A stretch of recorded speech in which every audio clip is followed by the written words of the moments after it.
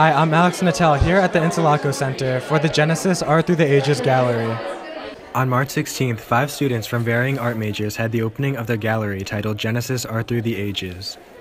I served as the faculty sponsor for this event, which essentially means the students came to me for advice on how to put the show together. The student artists were responsible for assembling the gallery also. One of the things they had to do is figure out the space, so they had to come in and do measurements. They also needed to figure out the materials and supplies, so they did some fundraising and they also looked for donations from local companies. All of the artists worked on one large collaborative piece that stood in the back of the room.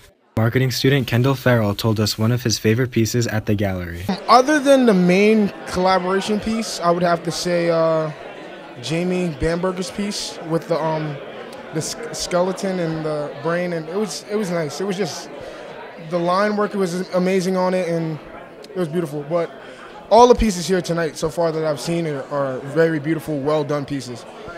I think that it's very important for students to realize that they can do anything that they set their mind to and like it's not normal for just students to put together something this big and I just hope that it makes other people realize that they can do the same thing if they just put their mind to it and work really hard. It was great seeing the people who came out to support us, um, seeing the turnout. It was a great night. Um, pretty sure these guys are pleased for the effort they put in, and I'm, I'm very pleased with what I saw tonight. For TVM News, I'm Alex Knittel.